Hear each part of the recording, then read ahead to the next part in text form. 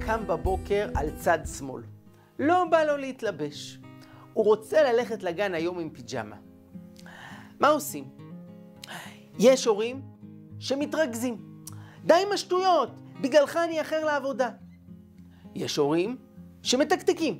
תופסים את הילד, מורידים פיג'מה, מלבישים בגדים ויאללה לגן.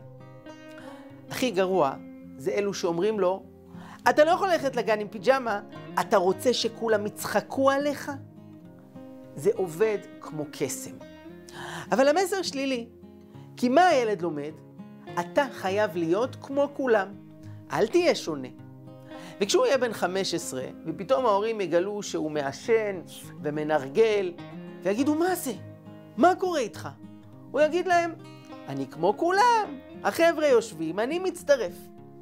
ולכן, הורים יקרים, בחינוך לא כדאי לעשות קיצורי דרך, כי בסוף נשלם עליהם מחיר.